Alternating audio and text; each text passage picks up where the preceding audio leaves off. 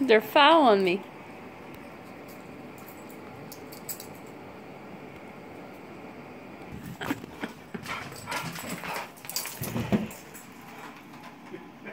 I got them. I got them. And here they come. I am getting it.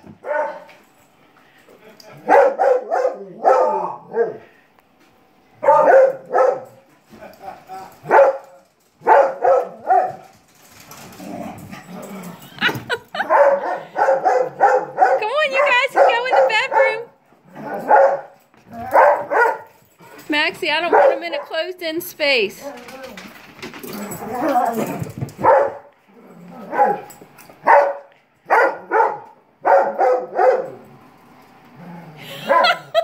looking for Mel and Mel went on the other side of the couch. Maximus, it's all right, bud.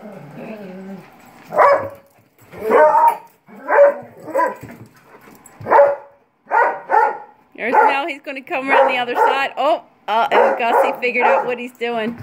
Oh, there he goes.